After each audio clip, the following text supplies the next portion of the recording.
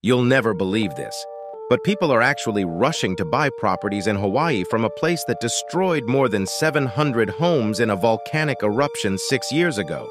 If you're curious where this place actually is, it's located in Puna district of Hawaii.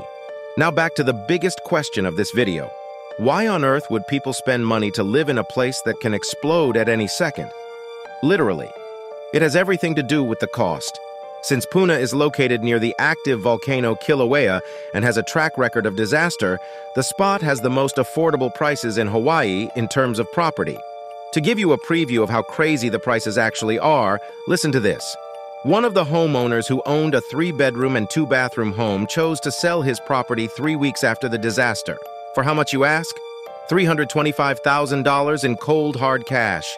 If you thought being in the active lava zone was enough danger to make people hesitant to live in Puna, the place also lacks modern infrastructure, proper roads, and lack of wastewater treatment plans.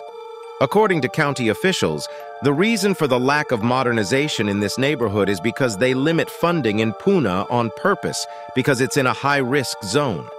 But as we already know, that hasn't stopped anyone from choosing to live in this area. After all, if it means that you get to live on one of the most beautiful islands in the world at a cheaper cost, the risk is well worth the reward, I guess.